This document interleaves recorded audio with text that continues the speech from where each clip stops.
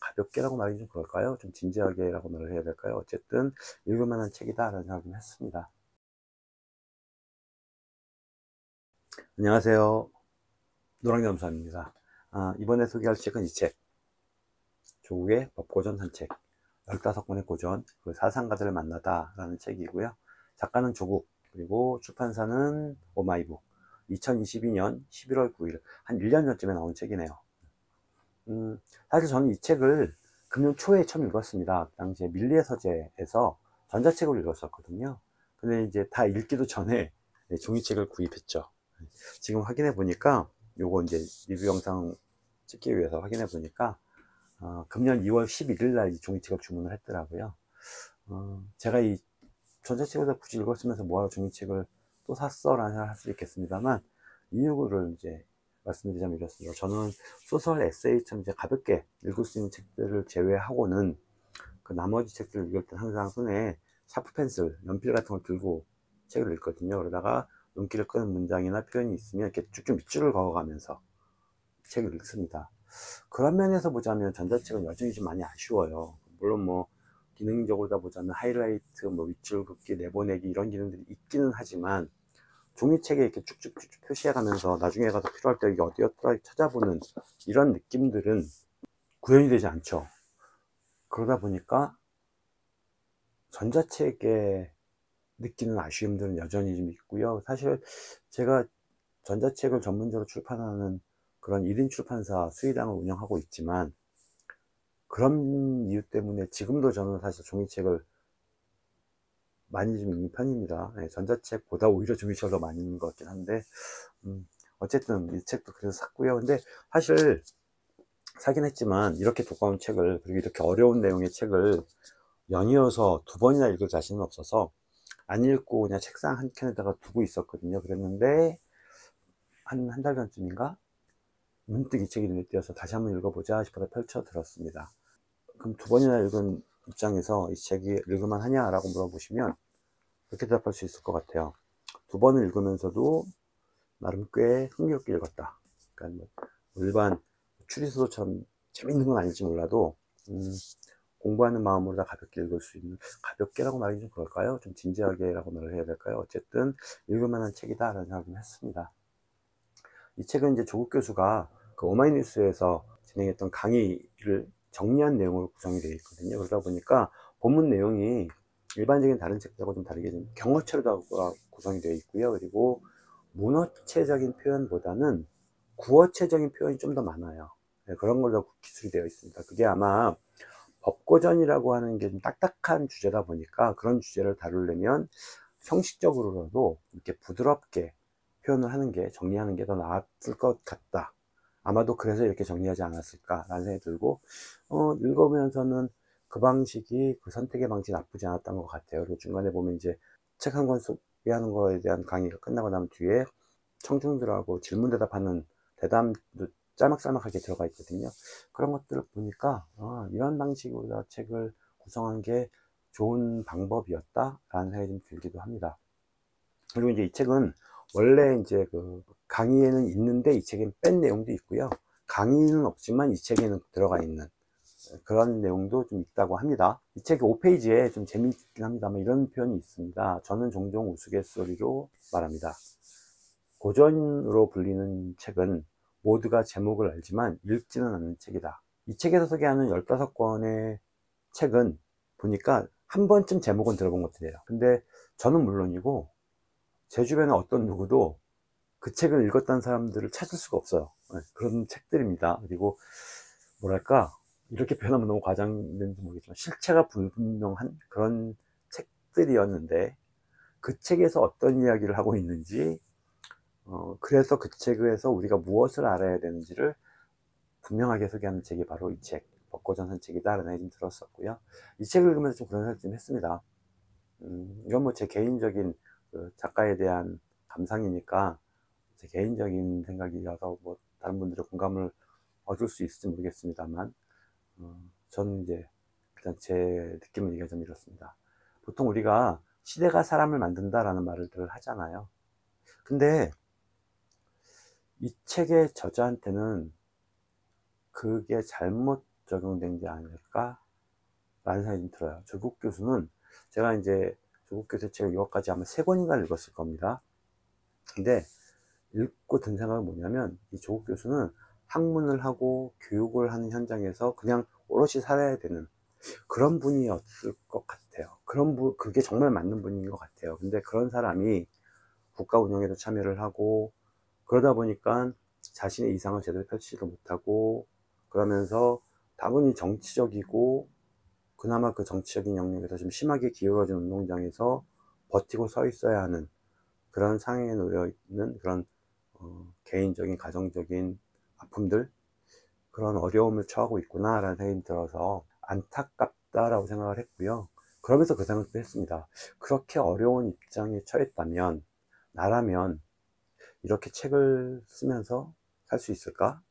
솔직히 저라면 제대로 정신줄을 부여잡고 버티지도 못하지 않을까 싶은 생각이 들기도 합니다 음, 제가 20대 후반, 30대 초반 그 당시에 그 영화사에서 근무했던 적이 있었거든요 그 당시에 그 일을 하면서 되게 스트레스를 받아서 원형 탈모증이 가서 되게 고생한 적이 있었습니다. 막 머리 이런데 막 구멍 뻥뻥 뚫리고 이랬던 적이 있었는데 그런 업무적인 스트레스로도 원형 탈모가 일어날 만큼 스트레스를 받는데 어, 이분이 현재 처한 상황은 뭐 잘잘못을 떠나서 어쨌든 되게 쉽지 않은 어려운 상황이잖아요. 그걸 극복할 수 있었을까? 어떻게 이렇게 버티고 있지라는 생각을 했는데 이 책의 9페이지에 이런 문장이 있습니다. 법정에서 저의 수명이 받아들여질지 알 수 없기에 불안하고 두렵습니다. 이를 극복하기 위해 읽고 씁니다. 어렵고 힘들고 두렵고 불안한 현실을 극복하기 위한 선택이 바로 책을 읽고 책을 쓴다는 것이라는 거고요. 그렇다면 음, 이분은 네, 제가 앞서 말했던 것처럼 천성이 학자인 분이 아닐까 생각이 좀 하게 되네요. 이 책을 읽으면서 저는 이제 나라, 법, 민주주의, 관습 우리가 일상적으로 살면서는 만나고 고민하지 않고 넘어가는 그리고 당연하게도 늘그 자리에 있었던 그런 것들에 대해서 진지하게 생각해 볼 수 있는 그런 기회가 됐었습니다. 그리고 지금 내가 어떤 판단을 해야 되고 어떤 선택을 해야 되는지에 대해서 의미 있는 그 작은 힌트를 좀 만났다 라는 생각이 들어요. 이 책을 읽으면서 그런 생각을 좀 했습니다. 가끔 글쎄 뭐 몇 년에 한 번쯤 주기적으로 한 번씩 읽어볼 만한 책이 아닐까 하는 생각이 좀 들기도 하고요. 어, 무엇보다 이제 이 책에서 소개하는 15권의 고전을 한 번 읽어볼까 라고 하는 쓸데없는 도전 정신이 좀 쏟아오르기도 하는데 제가 지금 그 앞서 이제 다른 그 리뷰 영상에서 자, 짤막하게 소개했습니다만 제가 지금 펭귄 클래식이라고 하는 전자책을 읽고 있거든요. 거기에도 여기에서 소개한 15권 중에 몇 권은 펭귄 클래식에 들어가 있어서 좀 시간이 지나면 읽어보지 않을까 싶기도 하네요. 이 책에 대한 제 평가는 음, 이 책을 전자책으로 읽었다. 그리고 종이책으로 다시 샀다. 다시 읽었다. 여전히 밑줄을 많이 그었고 진지하게 이 15권의 고전을 읽어보고 싶다라는 생각을 했다. 라는 걸로다가 정리할 수 있을 것 같고요. 이 책에서 소개하는 부분들 중에서 제가 제 눈길을 끌었던 그런 것들을 읽어보겠습니다. 어, 1장 사회계약 부분에 인민의 자기계약을 통한 국가 권력의 형성이라고 하는 항목이 있는데 거기에 이제 14페이지에 이런 말이 나옵니다. 지위와 재산은 상당히 평등해야 한다. 안 그러면 권리와 권위의 평등은 오래 지속될 수 없을 것이다. 장작 루소의 말이라고 합니다. 21페이지에 이런 말이 나옵니다. 루소는 다음과 같이 말합니다. 나는 군주도 아니고 입법자도 아니다. 그리고 바로 그렇기 때문에 정치에 관한 글을 쓴다. 내 의견이 공적인 일에 미칠 수 있는 영향력이 아무리 미약하다고 해도 나는 한 자유국가의 시민이자 주권자의 한 사람으로 태어나 그것, 그 공무를 얘기하는 거고요. 공무에 관해서 투표할 수 있는 권리를 가졌으므로 거기에 대해 알아야 한다는 의무 역시 당연하게 갖게 된다. 그러니까 우리가 보통 정치에 관심 갖지만 그 네가 왜 정치에 관심 가져라고 하는 말을 듣지만 사실은 그거에 대한 해답이 여기에 있는 거죠.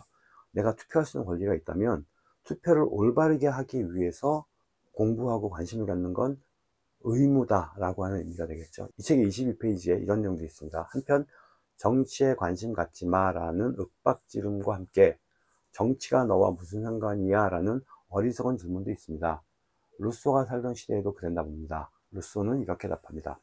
누군가가 나란 일에 대해 그게 나랑 뭔 상관이야 라고 말하는 순간 그 나라는 끝장난 것으로 간주되어야 한다. 나라의 주인이 나란 일에 상관이 없다고 생각하면 그 나라는 망한다는 거죠. 라고 하는 문장이 있습니다. 30페이지에도 사회의 계약론의 이면은 바로 혁명권의 인정입니다. 계약 파기자를 끌어내린다는 것이죠. 루소는 오직 합법적 권력에만 복종할 의무가 있다라고 분명히 못 박았습니다. 이랬기에 루이 16세가 이 책 때문에 내 왕국이 붕괴되었구나 라고 탄식할 수밖에 없었던 거죠 라고 적혀 있습니다. 이 책의 37페이지에 이런 문장이 있습니다. 사실 국가의 본질은 합법적 폭력의 독점에 있기에 국가의 합법적 폭력이 작동하면 시민의 자유는 제한되거나 박탈됩니다. 루소는 자유에 대해 이렇게 말합니다. 자신의 자유를 포기하는 것, 그것은 곧 인간으로서의 자격과 인간으로서 갖는 권리, 심지어는 자신의 의무까지 포기하는 것이다. 누가 됐건 모든 것을 포기해버리는 사람에게는 아무 대가도 주어지지 않는다. 좀 진지하게 표를 할 것인지 말 것인지에 대해서 고민해야 되는 부분이 아닐까 생각이 들긴 하네요. 38페이지에 이런 내용이 있습니다. 루소는 민주정부의 소중함을 강조하면서 다음과 같이 말합니다. 폴란드 주지사가 의회에서 했던 나는 굴종으로 얻은 평화보다는 위험한 자유를 택할 것이다 라는 말을 날마다 마음속에서 되풀이해야 한다. 굴종으로 얻은 평화 대신 위험한 자유를 택한 사람들의 분투와 희생 덕분에 정치적 민주화가 이루어졌고 그 덕분에 자유가 보장되고 있는 것입니다. 39페이지 볼까요? 사회계약의 주체인 시민들은 능력이나 재능에서 불평등한데 법적으로 평등하다는 말만 강조하는 현실에 대해 루소는 매우 비판적입니다. 잘못된 정부에서는 이 평등이 피상적이고 환상에 지나지 않는다. 그저 가난한 자는 계속 빈곤 속에 살고 부자는 계속 수탈하도록 하는데 쓰일 뿐이다. 사실 법은 언제나 가진 자들에게는 유익하고 못 가진 자들에게는 해롭다. 89페이지에는 셋째, 법의 말은 모든 사람들에게 똑같은 관념을 불러일으키는 것이 중요하다. 어떤 법에서 사물의 관념을 확정했을 때는 결코 모호한 표현으로 되돌아가서는 안 된다.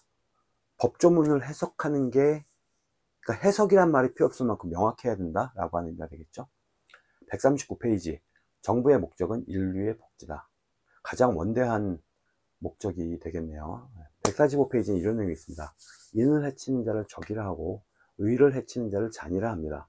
적과 잔을 일삼는 자는 잔적 지인을 일부라 합니다. 일개의 필부인 주를 죽였다는 말은 있어도 임금을 죽였다는 말은 아직 듣지 못했습니다. 이게 아마 그 맹자인가 나온 내용일 거예요. 그래서 그 내용을 설명해 놓은 내용이고요. 177페이지에는 이런 말이 있네요. 국민 각자는 법률에 위배되지 않는 행위라면 무엇이든 할 수 있으며 자신의 행위에 뒤따르는 법적 효과 이외에 다른 불이익을 염려할 필요가 없다. 이 신성한 신조가 없이는 합법적 사회는 존재할 수 없다. 당연한 얘기겠죠. 당연한 얘기인데 당연하지 않는 시대에 살면 힘들겠죠. 뭐그 부분에 대해서는 더 이상 얘기하고 싶지 않고요. 190페이지 형법의 목적은 처벌이 아니라 예방이어야 한다는 명제는 현대 형법학의 주축들입니다. 근데 이제 문제는 요즘에 뭐 이런저런 것들을 좀 보면 과연 그 목적을 제대로 수행하고 있나라는 생각이 들기도 하고요. 토머스 페이는 이런 말을 했대요. 자유로운 나라에서는 국가가 사람이 아닌 법에 근거한다. 제임스 메디슨이라는 분은 이런 말을 했답니다. 만약 다수가 그들의 공동 이익을 위해 결합한다면 소수의 권리는 위태로워진다. 242페이지 미국의 3대 대통령을 지낸 토머스 제퍼슨이 이렇게 말했습니다. 인민의 51%가 다른 49%의 권리를 빼앗는 곳에서는 민주주의는 폭도의 규칙, mob rule에 불과하다라고 되어 있네요. 6장 자유 256페이지에 존 스튜어트 밀은 이런 말을 했답니다. 설령 단 한 사람만을 제외한 모든 인류가 동일한 의견이고 그 한 사람만이 반대의 의견을 갖는다고 해도 인류에게는 그 한 사람에게 침묵을 강요할 권리가 없다. 269페이지 또한 밀은 민주국가에서 도덕이나 관습을 통해 개인을 억압하는 경향을 감지합니다. 라는 문장이 있습니다. 우리나라도 좀 이런 것들이 좀 강하죠. 튀지 마 이런 말도 많이 들었었고요 어릴 적에 272페이지에 이런 내용이 있습니다. 현대 한국 사회에서도 여론 도덕 관습은 다수자의 것입니다. 여론 도덕 관습은 사회 전반적인 것이 아니라 많은 사람들이 선택한 것이다. 뭐 이런 의미가 될 텐데 그게 다수결의 원리에는 부합할지 모르지만 음, 그 다수에 속하지 못한 사람한테는 참 큰 비극일 것 같아요 289페이지 요컨대 국가가 어디까지 개입하는 것이 타당한가에 대한 고민이 필요합니다 프랑스 작가 프랑스와즈 사강은 18세의 나이에 소설 슬픔이여 안녕을 발표하며 유명해집니다. 그런데 그는 각종 마약에 빠지고 도박에 중독이 됩니다. 2000년 마약 복용 혐의로 경찰에 체포되고 기소되어 법정에 섰을 때는 이런 말을 남기기도 했습니다. 타인에게 해를 끼치지 않는 한 나는 나를 파괴할 권리가 있다. 이 문장은 되게 유명한 문장이죠. 네. 마약하는 사람이 마약을 한 이유로 다 말을 했다라고 하는 게 참 그렇긴 합니다만 어쨌든 표현 자체는 되게 유명한 표현이고 많은 사람들이 회자된 표현이기도 합니다 295페이지에 이런 문장이 있습니다 밀은 말합니다 인간성을 위협하는 위험은 개인적인 충동과 선호에 과대해 있는 것이 아니라 그 결핍에 있다 부족하다라고 하는 것이 예, 이런 위험을 불러온다 라는 의미겠네요 7장 권리 304페이지에 이런 내용이 있습니다. 루도프 폰 예링의 권리를 위한 투쟁에 나오는 문장이랍니다. 권리 침해에 저항하는 것은 의무다. 역시 같은 사람이 권리에 대한 경시와 인격적 모욕의 성질을 지니고 있는 형태로서의 권리 침해에 저항하는 것은 의무다. 같은 내용이죠. 선택이 아니라는 얘기입니다. 310페이지 권리를 위한 투쟁은 고별 강연록이라는 점에서 한 문장 한 문장이 중요합니다. 제1장은 매우 유명한 문구로 시작합니다. 법의 목적은 평화이며 평화를 얻는 수쟁은 투쟁이다. 법이 부당하게 침해되고 있는 한 그리고 세상이 존속하는 한 이러한 현상은 계속된다. 법은 이러한 투쟁을 감수하지 않으면 안 된다. 법의 생명은 투쟁이다. 즉 민족과 국가 권력, 계층과 개인의 투쟁이다. 투쟁하러 나가야 하나요? 318페이지 예링이 말한 새로운 법이 자신의 진입을 강제하기 위하여 치러야 할 투쟁은 이처럼 오랜 역사 속에서 다양한 방식으로 목숨을 걸고 진행되었습니다. 그리고 그의 말대로 피나는 노력을 통해 쟁취한 법과 제도를 빼앗기는 일은 거의 없었습니다. 절대 없었습니다는 아닙니다. 거의 없었습니다. 라는 거죠. 320페이지 주권의 핵심 중 하나는 국토입니다. 아무리 쓸모없어 보이는 국토라 하더라도 이것이 침탈되는 상황을 방지하는 나라는 존속할 수 없습니다. 얼핏 보면 작은 돌섬에 불과한 독도를 생각해 보시면 쉽게 이해가 될 것입니다. 사실 뭐 저야 뭐 정치나 뭐 국제정세 잘 모르는 문외한이긴 합니다만 요즘에 이제 그 이스라엘하고 팔레스타인의 전쟁이 벌어졌잖아요. 결국엔 이 국토에 대한 어떤 비극을 겪는지를 보여주는 게 아닐까라는 생각이 좀 들었습니다. 416페이지에는 이렇게 되어 있습니다. 소로는 혁명권에 대해 다음과 같이 말합니다. 사람은 누구나 혁명의 권리를 인정한다. 그것은 정부의 폭정이나 무능의 극에 달해 견딜 수 없을 때 거기에 충성하기를 거부하고 저항하는 권리다. 마지막으로 한 문장만 더 소개를 하고 이야기를 끝내겠습니다. 10장 평화라고 하는 항목에서 임마누엘 칸트가 한 말입니다. 어떤 국가도 다른 국가의 체제와 통치에 폭력으로 간섭해서는 안 된다. 오지랖 부리면 안 된다. 라는 얘기입니다. 자, 이렇게 좀, 어, 제 이야기보다, 이 책에 대한 제 이야기보다 제가 밑줄 그은 내용도 좀 더 많이 소개한 조국의 법고전 산책이라고 하는 책에 대한 소개를 마치겠습니다. 감사합니다. 노랑겸사였습니다.